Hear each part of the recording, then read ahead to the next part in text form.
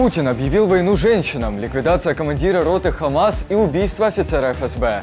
Обо всем этом расскажу в выпуске. В эфире Нехта. Важные интересные новости. Сахал ведет бои в районе четырех главных больниц Газы. Напомню, что параллельно э, продвижению на земле идет продвижение под землей. Там работают спецназ в Лондоне прошел митинг в поддержку жителей Газы, который перерос в стычку с ультраправыми британцами. ЕС может не договориться о помощи Украине на 20 миллиардов евро. Я не собираюсь пока объявлять эту идею мертвой. Но, конечно, всегда можно достичь улучшений. У Германии было много вопросов, и это справедливо. Доброе утро, дорогие зрители! Не забывайте лайкать, а также комментировать наши выпуски. Ваши комментарии дают нам мотивацию работать и доносить людям правду. Перейдем к новостям. О ликвидации командира роты Хамас сообщили в армии обороны Израиля. Также сообщается, что он удерживал в заложниках около тысячи местных жителей, не позволяя переместиться им на юг. Согласно открытым источникам, подразделения Цахал подошли к больнице Шифа, под которой располагается командный штаб террористов. Напомню, что параллельно э, продвижению на земле идет продвижение под землей. Там работают спецназ, э, различные подразделения спецназа, ну, неважно, не суть важно, но в, с очень э, мощным инженерным обеспечением. Они вооружены очень э, многими новейшими разработками, которые помогают э, бороться с туннелями. Между прочим, теория доказала, что эта работа идет правильно, и зачистка идет и под землей, и на земле, и это должно быть синхронно, чтобы сухопутные войска наверху не отошли, не убегали от подземных подразделений. Цахал ведет бои в районе четырех главных больниц Газа. По данным военных, в туннелях под ними находятся командные пункты террористов. В Газе это отрицают и подчеркивают, что в больницах укрываются местные жители и раненые, которые не могут покинуть зону боевых действий. Вы должны понимать, что происходит в больницах. Это очень сложная ситуация. Врачи постоянно принимают решение о том, кто будет жить и кто умрет, поскольку запасы медикаментов на исходе.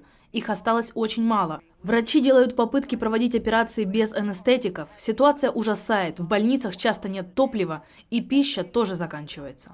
Про палестинские акции не утихают по всему миру. В Лондоне прошел митинг в поддержку жителей Газы, который перерос в стычку с ультраправыми британцами.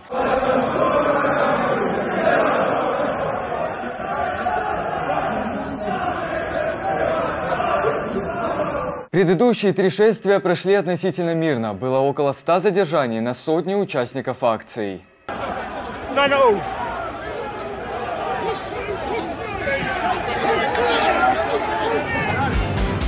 Вслед за частными клиниками в оккупированном Крыму от проведения абортов отказались почти все частные клиники в Курской области.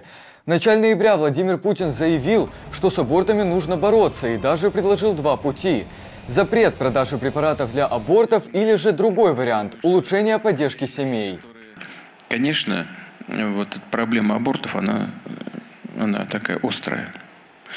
Вопрос, как с этим, что с этим делать?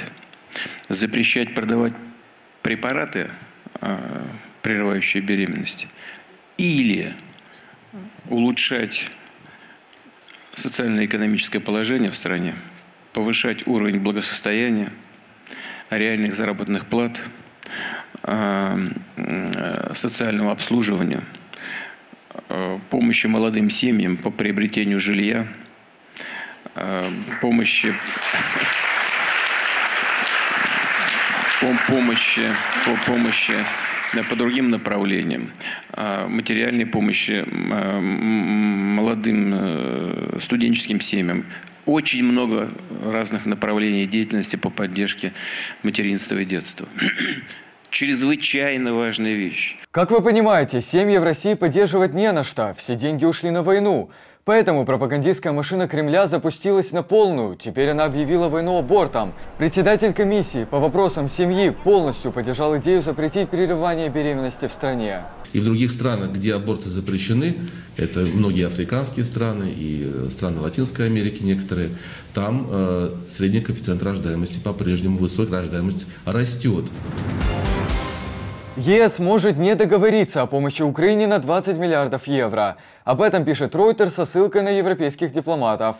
План рассчитан на 4 года, его внес Жозеп Барель. Но, по словам дипломатов, многие страны, в том числе Германия, высказали сомнения по поводу выделения таких крупных сумм. Я не собираюсь пока объявлять эту идею мертвой. Но, конечно, всегда можно достичь улучшений. У Германии было много вопросов, и это справедливо. Мы говорим о больших деньгах. Другие страны ЕС тоже говорят, что им будет сложно взять на себя такие обязательства, поскольку их бюджеты сокращаются. Трое дипломатов предположили, что ЕС может в конечном итоге отказаться от четырехлетнего бюджета для Украины и выделять какие-то конкретные суммы каждый год, каждый раз решая это отдельно. Вы правы, будут разные заявления, будут разные трактовки, будут разные э, спекуляции, дискуссии и так далее. Но я не сомневаюсь в том, что сегодня основные политические элиты, давайте брать основные политические элиты таких ключевых стран, Германия, Соединенные Штаты, Великобритания, четко, ну и других стран, да, да. четко понимают, какие риски генерирует именно путинская Россия, четко понимают, что они сегодня вкладывают гораздо меньше денег в необходимость поддержки, например, Израиля и Украины совместно уже, а вчера была только Украина, а уже сегодня за счет Израиля уже увеличение издержек на глобальную безопасность. Если не решить проблему путинской России, то увеличение издержек на обеспечение глобальной безопасности, да. чтобы хотя бы какой-то более-менее внятная стратегия развития дальше человечества была, будет еще больше. Несмотря на все заявления, источник Бильд сообщает, Германия решила удвоить военную помощь Украине. Как пишет издание, на следующей неделе комитет примет решение об изменении госбюджета. Для Киева это означает больше оружия и боеприпасов в войне против России. Военный бюджет увеличат на 4 миллиарда евро. Кроме того, у Минобороны есть еще 2 миллиарда евро, которые можно потратить как так называемые средства на выполнение долгосрочных оборонных контрактов. Власти Исландии ввели режим ЧП из-за возможного извержения вулкана. Метеорологическое бюро обеспокоено тем, что большое количество магмы растекается под землей и может в ближайшее время выйти на поверхность. Землетрясения могут стать более масштабными, чем те, что произошли, и эта серия событий может привести к извержению. Тысячам жителей города Гриндавик приказано эвакуироваться в качестве меры предосторожности.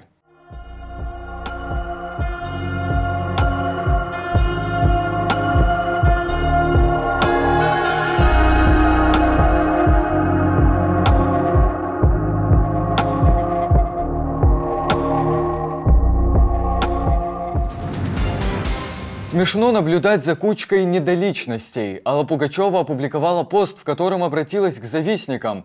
Певица добавила, что выполнила свою миссию и назвала свободу главным богатством. Свобода – это главное богатство. И я ее в себе берегу. Этим живу и постараюсь дожить до победы света над тьмой, победы добра над злом, победы правды над клеветой. В Госдуме же призвали высечь плетью на Красной площади Пугачеву и Моргенштерна, а также всех остальных звезд, которые выступили против войны и мигрировали. История подберет к ним наказание, но я думаю, нужно посмотреть мировой опыт. Ну, например, сингапурский опыт. Это публичная порка плетью, ну, там бьют палками, ну, у нас можно бить плетью. На Красной площади вывести, выпороть как следует, чтобы на коленях попросили прощения у всех граждан Российской Федерации, у президента. Ну и, наверное, по тому же принципу 95% доходов в казну, 5% оставить им. Рейд в Брянскую область и убийство офицера ФСБ совершили РДК. Также РосМИ сообщает, что был уничтожен служебный внедорожник несмотря на то, что Россия много говорила, что вот мы укрепим границу, там ни одна муха не пролетит, не проскочит, а РДК это все пиар, это все выдумка и все прочее, они продолжают проводить рейды. Насколько эти рейды эффективны, сказать сложно. То есть, наверное, они сдерживают какую-то часть российских военных, вот, на, ну, нужно выделять их на эти территории, да. А, во-вторых, а, они, собственно, оказывают давление на всевозможные службы, включая ФСБ, потому что ФСБ в том числе занимается границей. Возможно, они готовят какие-то более крупномасштабные рейды, однако мы пока не видели попыток прорыва на военные базы, э, на там полновесные военные объекты, захват которых действительно может привести к серьезному влиянию на военное положение России. Сообщается, что параллельно с рейдом проходил благотворительный аукцион в поддержку добровольческого корпуса. На нем было собрано более 50 тысяч евро для борьбы с ВСРФ. Полиция Калифорнии задержала вооруженного мужчину с помощью робопса. Водитель автобуса заметил человека с оружием и вызвал полицию. К этому моменту все пассажиры автобуса, кроме вооруженного, его покинули. Прибывшая полиция, чтобы не рисковать личным составом, отправила в салон автобуса робопса. С его помощью стало понятно, что мужчина спит. Вооруженного Соню задержали и допросили. Пистолет оказался пневматическим. Спасибо, что смотрите, спасибо за доверие, жду ваших комментариев и лайков. Не забывайте нажимать на колокольчик, чтобы всегда оставаться в информационной повестке, а также подписываться на нас в других социальных сетях, Telegram, Twitter или же TikTok. До встречи в следующих выпусках.